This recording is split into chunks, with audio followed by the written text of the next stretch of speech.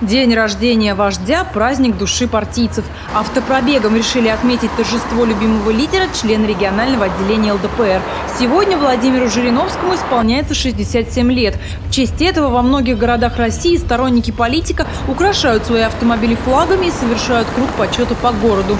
Ивановские либерал-демократы в этом году собрали 10 авто и проехали по улице Куконковых, проспекту текстильщиков и строителей. Акция уже стала ежегодной. Партийцы уверены, Владимиру Вольфовичу такое поздравление приходится по нраву. Об этом скандальный лидер ЛДПР регулярно рассказывает в интервью. Он довольно скромный человек, и поздравление для него как бы в Москву отправлено уже, а здесь для нас, просто для ивановцев и для него лично то, что поздравление будет автопробегом. Для нас это идеал, как бы, это наше движение вперед, это показатель наш, как надо работать, как надо действовать.